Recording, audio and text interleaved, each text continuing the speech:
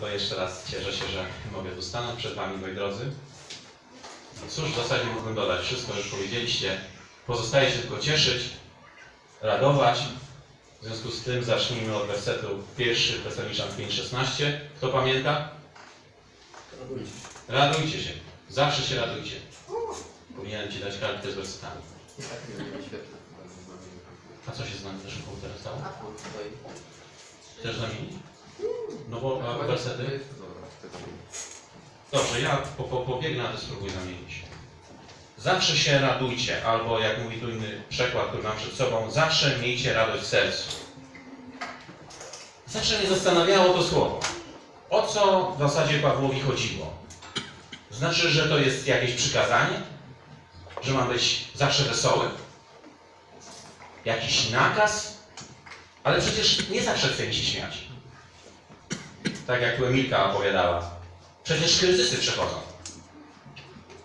I powiedziałaś, dobrze jest przechodzić kryzysy, ale jak jesteśmy w trakcie kryzysu, to wcale nie czujemy się dobrze. Jest nam źle.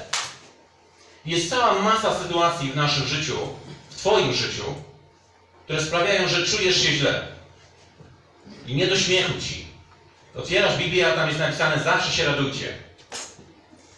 No i zastanawiasz się, no to co jest ze mną nie tak? Ja się nie raduję. Ja się teraz martwię. Ja się teraz boję. Mnie teraz boli. Ja teraz cierpię. Jak mam się radować? Z czego mam się radować, skoro się nie układa coś? Kłopoty mam. Chory jestem. Małżeństwie mam kłopoty. Pracę straciłem. Co, co innego jak się układa? O, to wtedy tak. I przyznam, że do tego, co chcę powiedzieć, zainspirowały mnie nasze dwa ostatnie studia biblijne, wtorkowe. Wyświetlilibyśmy wersety, ale poczekamy, aż Janek sobie poradzi. Kto ma Biblię, to niech otworzy. Łukasz, 10 rozdział. Łukasz, 10 rozdział. To jest to miejsce, które dzisiaj chciałbym wskazać jako no, podstawę do radości. A to dzisiejsze e, rozważanie zatytułowałem Najlepszy powód do radości. Łukasz 10 rozdział i przeczytamy sobie od wersetu 17 do 20. Historia jest taka, opisana tam, że Jezus wysyła do różnych miast, tam w Palestynie czy do krain obok, uczniów.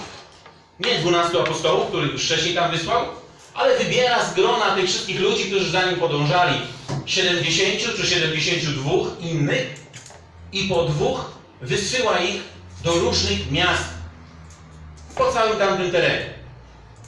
I daje im zadanie, żeby zwiastowali Królestwo Boże. Mówi też do nich, żeby tam, gdzie wejdą, uzdrawiali chorych. Janek o tym dzisiaj wspomina, jako o marzeniu. A oni dostali to jako zadanie. I ten fragment, który za chwilę przeczytamy, opisuje, kiedy wrócili do Jezusa. Czyli wypełnili to swoje zadanie, jakiś czas to trwało. Werset 17.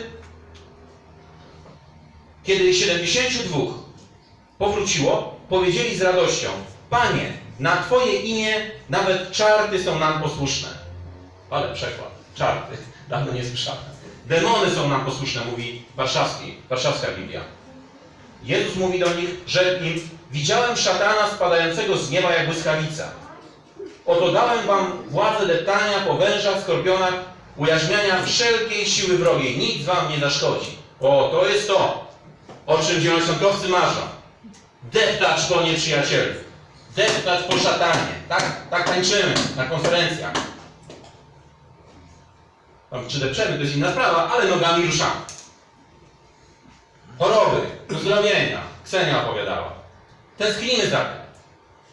Oni doświadczali tego.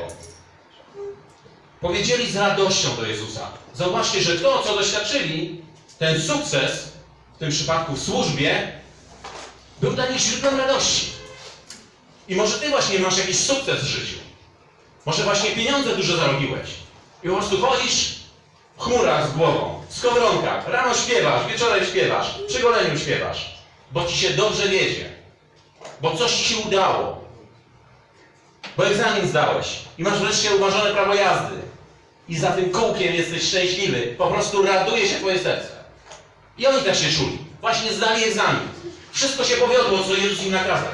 Nie zawiedli w niczym. Wrócili z sukcesem, ze zwycięstwem. Zwycięstwo smakuje i zwycięstwo raduje serce. I Jezus wypadało, że powiedział, no dobra robota chłopaki, tak trzymać. Cieszmy się razem, chodźcie, będziemy szampana otwieramy. Oprócz niektórych z nas. Wy nie otwierajcie. Ale Jezus tak do nich nie mówił. Zauważcie, 20 werset.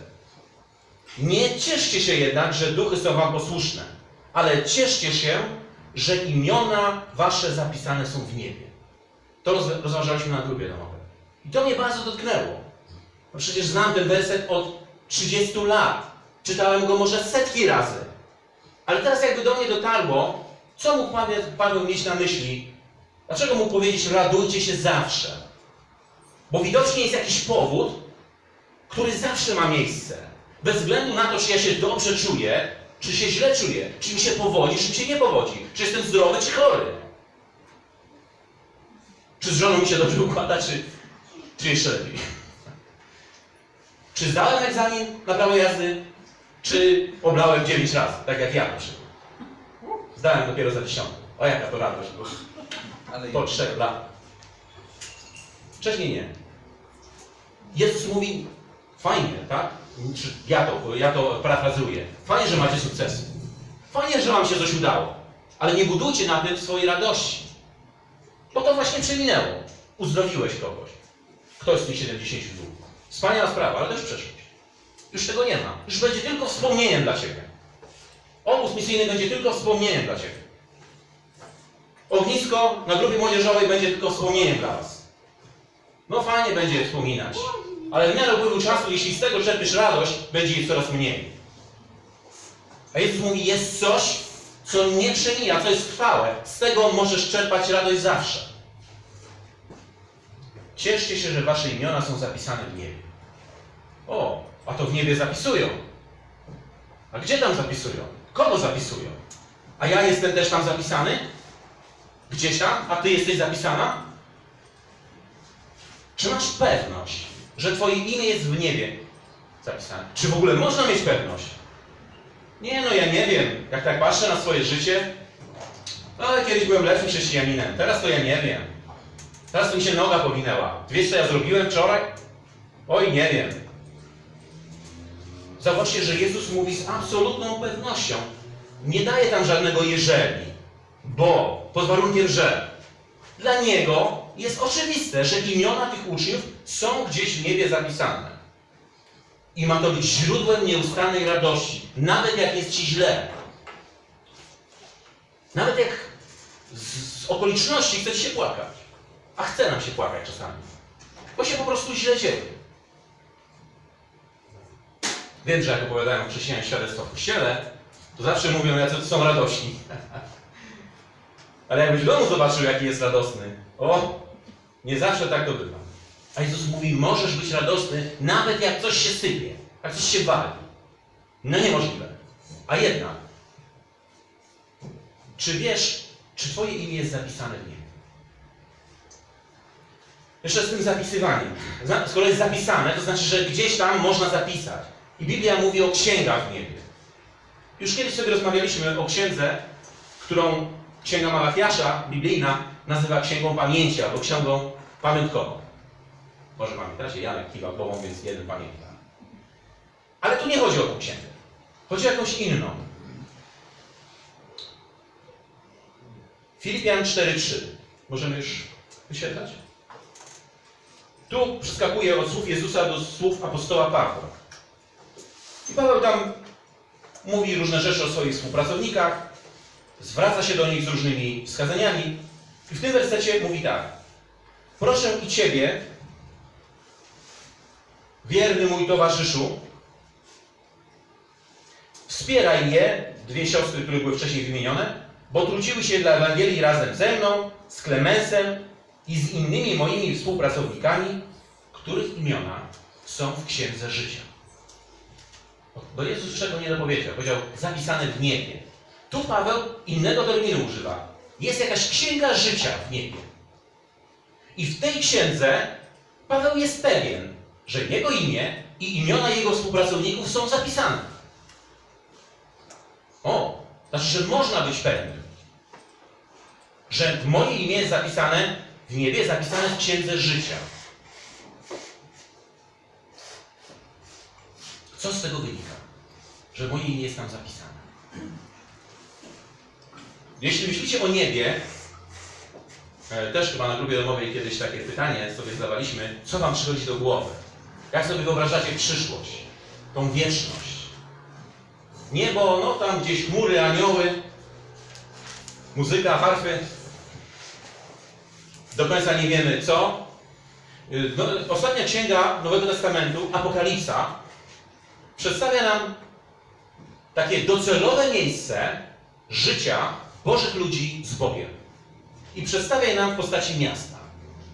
Umownie nazywa to miasto Nową Jerozolimą.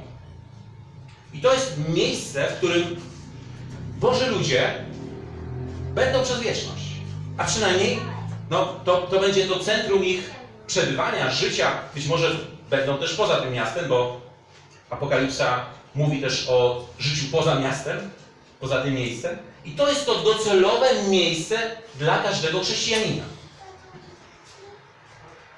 W tym miejscu mieszka Bóg Ojciec, gdzieś w duchowym świecie. W tym miejscu mieszka Jezus i w tym miejscu będzie, czy jest już Twoje mieszkanie i tam na wieki będziesz z Jezusem.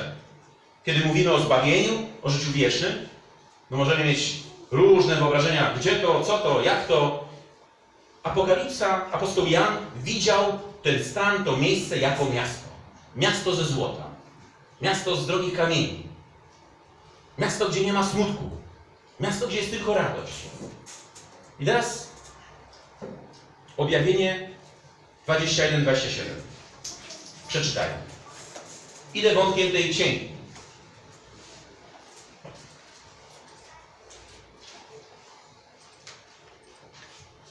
A nic nieczystego do niego, czyli do tego miasta, do tego nieba, nie wejdzie, ani ten, co czyni ohydne rzeczy i popełnia kłamstwo, lecz tylko, ty, co, lecz tylko ci, co prowadzą porządne życie.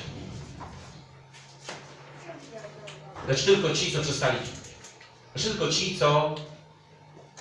Nie jest tak napisane. Ci, którzy są zapisani w Księdze Życia Baranka. Ten fakt, że Twoje imię lub moje imię lub czyjeś imię jest zapisane w Księdze Życia Baranka oznacza, że masz udział w wiecznym życiu z Bogiem. W tym najdoskonalszym ze światów, w przyszłości, które Bóg przygo- przygotował. Mówię w przyszłości, ale ono pewnie istnieje, tylko z naszej perspektywy wygląda to na przyszłość.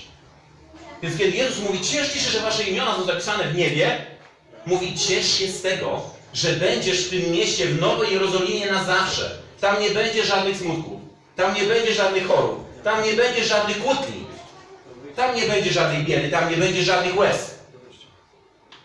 I mam prawo się z tego cieszyć.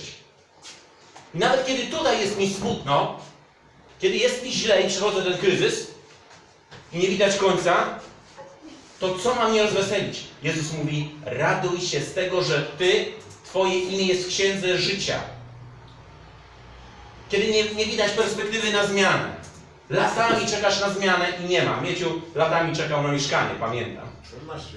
Ile? 14 lat. 14 lat na mieszkanie. No, doczekał się. Chwała Bogu.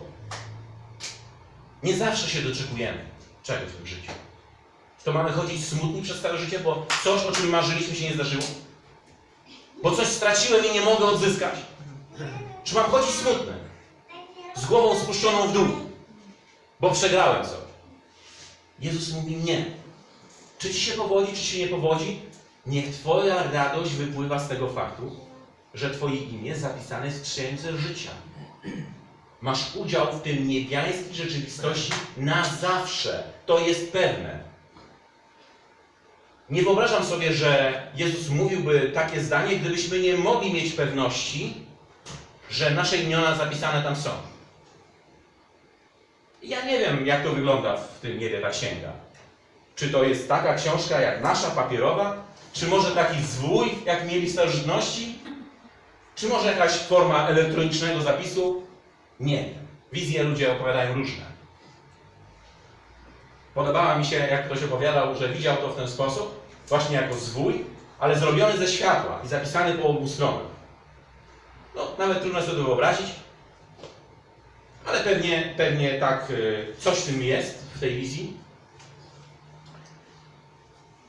Możesz się radować zawsze, bez przystanku, jeżeli masz pewność, że Twoje imię zapisane jest w Księdze Życia Baranka.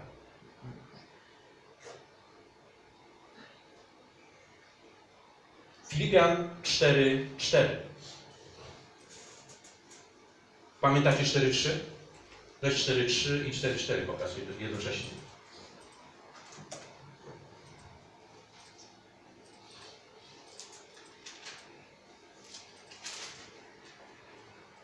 Pierwsze zdanie to trzecie czytaliśmy. Paweł mówi o sobie i innych, których imiona są w księdze życia, żywota. I potem dodaje: radujcie się w Panu zawsze. Powtarzam raz jeszcze: radujcie się. Najpierw przypomniał im i sobie, że ich imiona są w tej księdze życia, a potem wezwał ich do radowania się. Jeżeli zbudujesz inaczej tę kolejność, jeżeli nie zbudujesz swojego źródła radości na tym fakcie, że Twoje imię jest tam zapisane, nie będziesz miał tej radości. Jak Ci się będzie dobrze powodziło na górze, to będziesz wesoły. Jak będziesz na dole, to będziesz cierpiał. Cierpiał. No i tak, tak się dzieje. Tak się dzieje, bo my rzadko myślimy o tym, że nasze imiona są tam zapisane. Jezus mówi, na to patrzcie. Wiedzie wam się w służbie cuda, demony uciekają, uzdrowione, uzdrowieni ludzie są, alkoholicy przestają pić. Super. Ciesz się z tego, że Twoje imię zapisane jest w Księdze Życia Baranka. I nikt nie może się tego odebrać. Więc pytanie Janek je zadawał, Ksenia o tym mówiła. Mówimy o pewności zbawienia. Możemy ją mieć. Tutaj ona jest wyrażona troszeczkę innym terminem. Moje imię jest zapisane w księdze.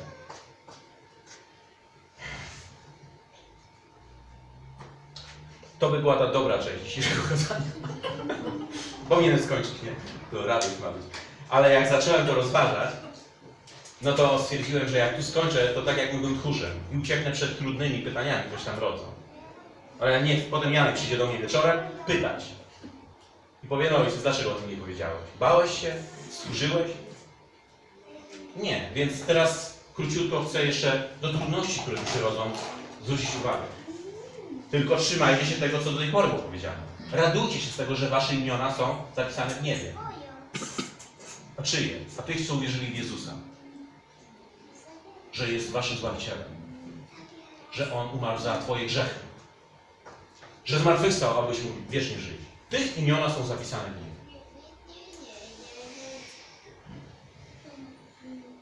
Jakie są rzeczy trudne związane z, z tym faktem, że istnieje Księga Życia? Czy w ogóle może być coś trudnego? To wygląda na dobrą nowinę. Więc co tam trudnego może być?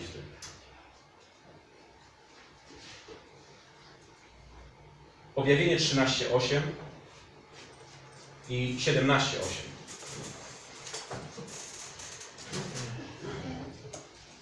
Może jeden z nich, któryś tam pokaż.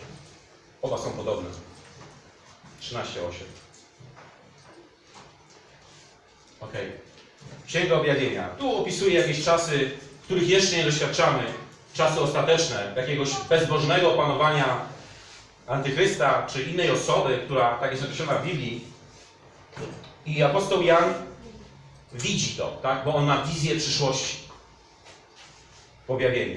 Wszyscy mies- mieszkańcy ziemi będą oddawać pokłon władcy. Każdy, i teraz chcę na to zwrócić uwagę, którego imię nie jest zapisane od założenia świata w księdze życia zabitego baranka. Jaka jest trudność? Nie wszystkie imiona są tam zapisane. Po pierwsze, kiedy tam nasze imię zostaje wpisane? O tak trzeba sobie odpowiedzieć na to pytanie. Bo część z nas mogła powiedzieć, no wtedy, kiedy się nawróciłem. Albo, nie wiem, wtedy, kiedy chrzest przyjąłem. Albo jakieś inne przeżycie doświadczyłem. Tekst mówi, że te imiona trafiły tam przed założeniem świata. Kiedy jeszcze żadnego z nas nie było. Kiedy jeszcze nic nie było. Przynajmniej fizycznego świata nie było. A już istniała Księga Życia Baranka. I były tam zapisane imiona. I moje, i Twoje, jeśli wierzysz w Jezusa, było tam zapisane, a nas jeszcze nie było. I to mi coś mówi, że to nie jest uzależnione ode mnie, tylko od tego, który zapisuje. Od Boga. Ale tu jest napisane ci, których imię nie jest zapisane w Księdze Życia od, założenia świata. Mieszkańcy ziemi. Tak ten tekst nazywa takich ludzi. I ja nie potrafię tego wytłumaczyć. Dlaczego? Tłumaczenia są różne, ale na ziemi żyją dwa rodzaje ludzi. I zawsze tak było. Ci, których imiona są zapisane w Księdze Życia Baranka i ci, których imion tam nie ma. A skąd mam wiedzieć? tak? Na to odpowiedzieliśmy sobie na początku. Jeśli uwierzyłeś w Jezusa, możesz wiedzieć, że Twoje imię jest tam zapisane. Nie ma żadnego innego sposobu, żeby to wiedzieć. Nie możemy cofnąć się w czasie i zobaczyć, a kogoś, a kogo też tam wpisują do tej księgi. O, a jest tam moje imię? Na drugiej stronie może. Nie możemy tego zrobić. Nie możemy tego sprawdzić. Nikt nie może Ci tego powiedzieć. Jest tylko jeden sposób, żeby wnioskować albo mieć pewność. Uwierzyłem w Jezusa. A więc wiem, że ktoś, że Bóg, Stwórca, wpisał moje imię do tej księgi. Przed założeniem świata. A Księga Apokalipsy jaki okres rzeczywistości kosmicznej pokazuje nam? Przyszły. Mamy początek historii albo przed historią, przed założeniem świata. Istnieje księga i jest tam moje i Twoje imię, jeśli jesteś wierzący w Jezusa. I mamy koniec historii świata. W Księdze Apokalipsy i tam ciągle jest moje imię. I wchodzę do miasta. I będę tam żył na wieki z Jezusem. I Ty. Bo jest tam Twoje imię. Nie dlatego, że coś zrobiłeś w życiu lepszego niż ja lub ktoś inny. Dlatego, że Bóg zapisał tam Twoje imię. Możesz o tym wiedzieć, jeśli wierzysz w Jezusa. Bo tam są zapisani ci, którzy w Niego uwierzyli. Nie jestem w stanie stwierdzić, ani Ty, kto z ludzi obecnie żyjących nie jest tam zapisany. No bo nie jest tak, że rodzimy się jako wierzący w Jezusa. Rodzimy się jako chrześcijanie. Nie. Patrzysz na swoje życie przed nawróceniem. Jak to część z Was, ulubione Wasze słowo bagno. Jedno z najczęściej powtarzanych stąd słów to bagno. Na próbę opisania starego życia przed nawróceniem. Patrzysz na tego życia i może mógłbyś pomyśleć, o nie, tego człowieka to w tej księdze życia na pewno nie ma. Ono tam jest, tylko to się jeszcze nie objawiło. Nie zobaczyłeś następstw. Jeśli Twoje imię tam nie było od początku, to przychodzi taki moment po 20 paru latach, że się nawracasz. I możesz to różnie tłumaczyć. Bo była fajna atmosfera w Wiśle, bo była fajna muzyka, bo ktoś dotknął mojego serca, bo zobaczyłem Boży cud. Nie. Na początku Bóg zapisał Twoje imię w Księdze Życia. I to się zrealizowało poprzez Twoje nawrócenie. Nie możemy więc osądzić, kogo tam nie ma zapisanego. Patrząc na przykład na bezbożne życie czyjuś. Bo każdy z nas prowadził, no może nie każdy, bezbożne życie. Część z nas po prostu była przyzwoitym człowiekiem. Ja byłem grzesznym chłopcem przed nawróceniem. Ale i tak potrzebowałem nawrócenia. Część z nas prowadziła bardziej niegrzeszne życie.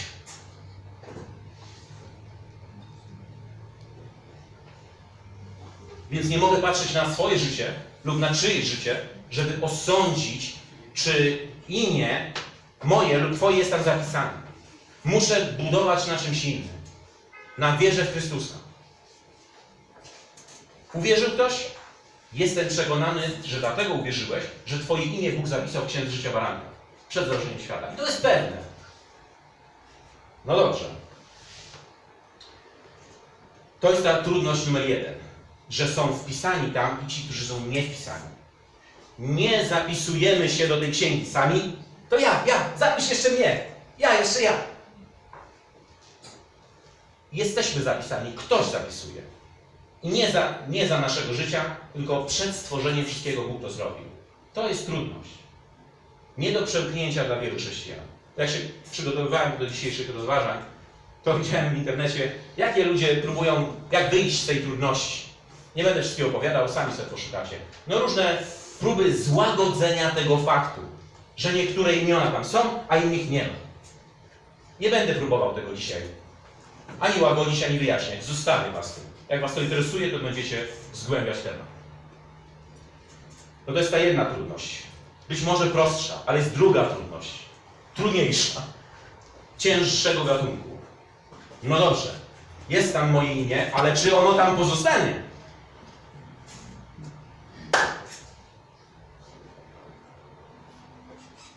Tej księdze.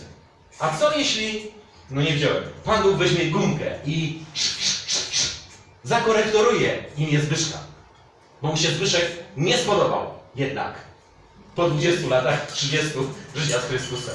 O nie, nie. Tego gościa to wymazujemy z tej księgi. Czy, czy możemy mieć taką, taką obawę? Wiem, że tak. Wiem, że część z nas, bo rozmawialiśmy o pewności zbawienia po grupach domowych, także z synem i synową, pamiętam co mówili, z biegiem czasu może się zdarzyć, że zaczynasz tracić pewność zbawienia. Bo wydarzenia Twojego życia nie podobają Ci się. I myślisz, że Bogu też się nie podobają. I budujesz na nich swoją pewność, nie na Słowie Bożym. Coś się wykrzaczyło, coś się wywaliło, coś Ci nie poszło. Zgrzeszyłeś. Poprawić coś. Zepsułeś coś.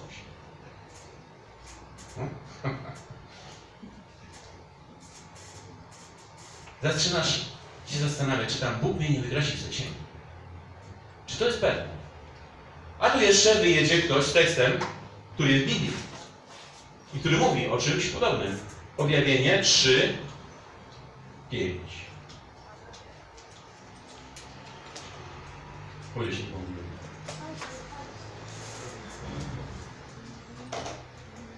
Chcę, żebyśmy wyszli dzisiaj z tej sali, przynajmniej po moim, po tym, co przedstawiam, z absolutną pewnością, że wasze imiona są w niebie zapisane. I żeby was nic nie zachwiało z tym, bo dzięki temu będziecie mieli radość. Zawsze. Nawet jak wam się źle wiedzie. A wiedzie nam się często źle. Wiem, że kaznodzieje Ewangelii Sukcesu to by tak zaraz mnie tu zgromili pewnie, tak? Na kon- konferencjach bywacie. Że to z ust nie może nic negatywnego wyjść. Ale jestem szczery chłopak. Nie wiedzie nam się. Okej. Zwycięzca zostanie przeobleczony w szaty białe i nie wymarze imienia Jego z księgi życia. I tak dalej. Jest mowa o wymazaniu. To Jezus mówi. I teraz, moi drodzy, są dwa sposoby rozumienia tego tekstu. Możesz przeczytać go w ten sposób, że Jezus tam tylko czeka, kogo wymazać z księgi życia. I tak mógł- mógł- mógłbym chciał was postraszyć, to bym użył tego wersetu jako ostrzeżenie. Słuchajcie, jak nie będziecie robić tego, tego i tamtego, to Jezus wymarzy was z księgi życia. I przepadło. Tak było fajnie, tak, tak było fajnie miasto niebieskie, przepadło. Ale ten tekst tego nie mówi. Jezus nie mówi, że wymarzę kogoś z księgi życia. Druga możliwość rozumienia tego tekstu to jest Boża obietnica. Jezusa obietnica, Jezusa zapewnienie. Spokojnie. Ja was nie wymarzę z księgi życia. Nie martw się. Ja cię nie wymarzę z księgi życia. Wybierzesz sam i sama, jak chcesz ten tekst rozumieć. Czy jako ostrzeżenie przed wymazaniem, czy jako zapewnienie, że Twoje imię nie zostanie wymazane. Moim zdaniem tekst czytany tak, jak jest napisany dosłownie, jest obietnicą dla wierzącego, dla zwycięzcy w szatach białych. Białe szaty symbolizują zbawienie. Symbolizują sprawiedliwość, którą otrzymaliśmy jako dar od Boga. Oczyszczenie nas przez krew Jezusa. Każdy wierzący jest zwycięzcą. I ten, któremu się wiedzie, i ten, któremu się nie wiedzie. W oczach świata nie, ale w oczach Bożych tak. Twoje imię nie zostanie wymazane z księgi życia. Jezus obiecuje to tutaj. Ale zawsze możesz wybrać tą pierwszą opcję. Nie wiem jak chudnie, pewnie wybierają może inaczej. Uważam, że to jest obietnica.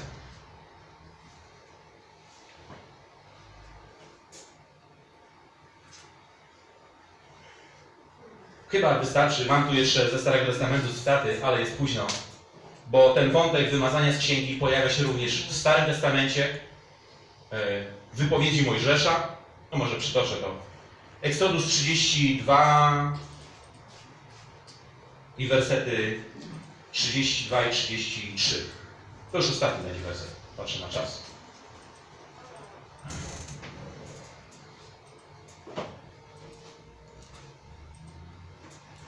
Ok. Sytuacja jest taka, że Izraelici zgrzeszyli, uprawili bałwochwalstwo. I Bóg się na nich wściekł.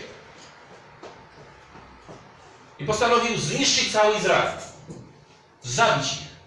Mówi do Mojżesza, odłącz się od nich, ja ich zniszczę w oka, zabiję ich, a z siebie zrobię wielki naród. I Mojżesz wstawia się za Izraelitami przed Bogiem Jachwę. Mówi do, do Boga, gdybyś jednak raczył darować im ten grzech, jeżeli zaś nie, to wymasz mnie raczej z księgi, którą napisałeś. Wtedy Jachwę rzekł do Mojżesza, tylko tego wymarzy z mojej księgi, kto zgrzeszył przeciwko mnie. Ło. A tutaj Bóg sam mówi, że będzie wymazywał z księgi. No i co Zbyszek teraz powie? Czarno na białym napisane. Jeżeli Bóg wymazuje z księgi tego, kto zgrzeszył przeciwko niemu, to znaczy, że wszystkich musiałby wymazać. Poznacie przecież Nowy Testament. Wszyscy zgrzeszyli i brak im chwały Bożej. Więc jeśli ten werset miałby oznaczać, że Bóg wymazuje nas, nasze imiona z księgi życia baranka, z księgi życia Jezusa, że odbiera nam prawo do tego złotego miasta i do wiecznego życia, wszyscy byśmy je stracili. Ani widzę w Nowym Testamencie, ani nigdzie, ani w Starym, żeby Bóg tą księgę tak wpisywał, wy, wymazywał, wpisywał, wymazywał. To jest nieprawdziwy obraz, jeśli taki by się zrodził. Yy, są różne księgi w niebie. I księga, o której tutaj mówi Mojżesz, jest też nazywana księgą żyjących. I oznacza po prostu Boży zapis, że jesteśmy żywymi ludźmi na tej planecie. I może się zdarzyć tak, że Bóg odbierze ci fizyczne życie. Tak jak odbierał tysiącom Izraelitów. Wymazywał ich z księgi żyjących. O to się modli Mojżesz. Mówi, tak jakby mówił do Boga, nie zabijaj ich, raczej zabij mnie. Nie macie przed sobą całego tekstu z Eksodusu, tego rozdziału, ale poczytajcie tam. Mojżesz tam przekonuje Boga. No a co powiedzą Egipcjanie? Jak zobaczą, że ty zabiłeś Izraelitów na pustyni. Miej słowy, tutaj wymazanie z księgi nie odnosi się do księgi życia baranka, tylko do życia fizycznego. Bóg może pozbawić grzesznika fizycznego życia. Bo coś mu się nie spodoba, ty- a ja nie pokutuję. Czy tak jest w Nowym Testamencie, jakieś przypadki znamy? Żeby tak się zdarzyło. Że Bóg chrześcijan pozbawił życia. Ananiasz i Safira. W dziejach apostolskich. No można różnie na tą historię patrzeć. Dla mnie Bóg ich zabił. Czy tam Piotr miał w tym udział, współudział, to już inna sprawa. Fizycznie możemy podnieść konsekwencje grzechu i ponosimy. Jeżeli, nie wiem, nie dbam o swoje zdrowie, zachoruję, ponoszę konsekwencje swojego grzechu. Nie dbam o swoją firmę, nie pilnuję finansów, firma bankrutuje. Ponoszę konsekwencje niedbałości czegoś. Tak samo jest z relacjami w domu, z dziećmi, z żoną, z mężem. Ponosimy jakieś konsekwencje.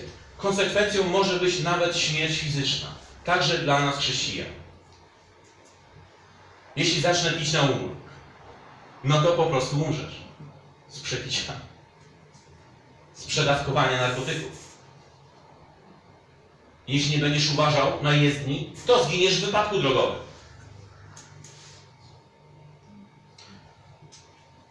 Nie sądzę, żeby Mojżesz miał na myśli Księgę Życia Baranka. Bo po prostu nawet o takiej księdze pewnie nie słyszał. Mamy to objawione dopiero w Nowym Testamencie. że taka księga istnieje. Chociaż Żydzi wierzyli w księgi w niebie i różnorakie. Tego typu. Zawsze miejcie radość w sercu. Czy masz dzisiaj pewność, że Twoje imię jest zapisane w Księdze Życia Baranka?